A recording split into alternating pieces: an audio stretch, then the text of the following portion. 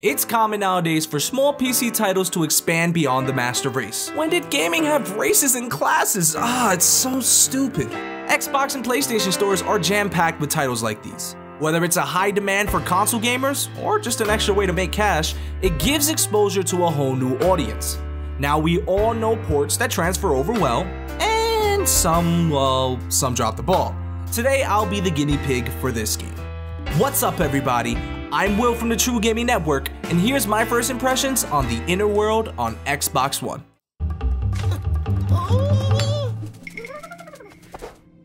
No! What idiot let that thing in here? Uh, don't worry.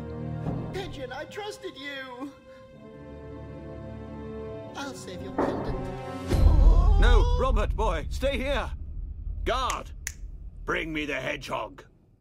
The Inner World is a point-and-click adventure title developed by Heads Up Games. The game itself is heavily dialogue based, and naturally that's where most of the story unfolds. You play as this young boy named Robert, who's a bit clueless and sheltered. Robert will accidentally go on an adventure and explore the mysterious world of Asposia. There's a bit of a backstory regarding wind gods and a fellow named Conroy. Know that I'm keeping spoilers at a minimum, but you'll get a feel for the story within the first couple minutes of gameplay. I can tell you that for some reason, I automatically had a soft spot for Robert. No clue why, I, I just did. This title is visually interesting. The world of Asposia, the level design, even the characters look different. Speaking of characters, you may have a love-hate relationship with them. Not specifically because of any actions, but because they can talk their lives away. I don't even own anything worth stealing since my husband left me. You don't have to be. He got turned into stone. Oh, Yes, at least you can rely on the Basylians. I can tell you a thing or two, my boy. But knowledge comes with a price, if you catch my drift. Well, I get sympathy every day for free.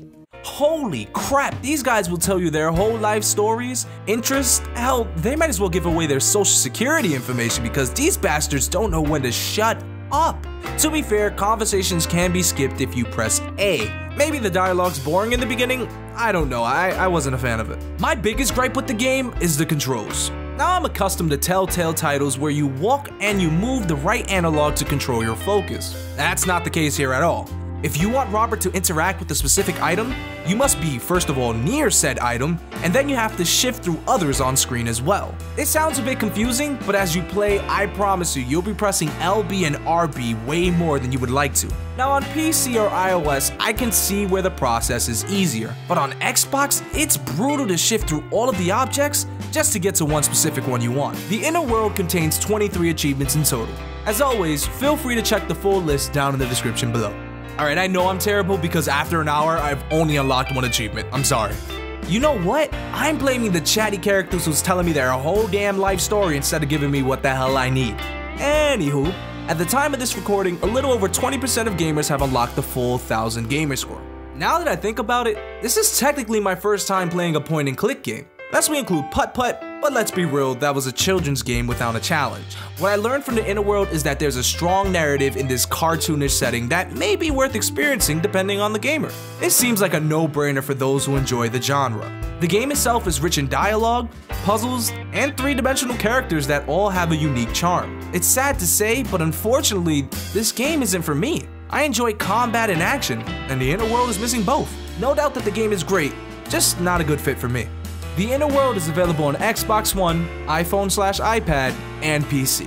You know what, maybe I need to get more of a feel for this game to enjoy it. What I want to know is if point and click games catch your eye. Or more importantly, will you be picking up the game? Let me know what you guys think down in the comment section below.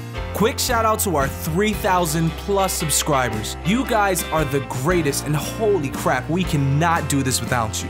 Like and subscribe for more videos from the True Gaming Network. More first impressions are always available to you guys, just click on the thumbnail. Once again, I'm Will, and I'll catch you guys next time.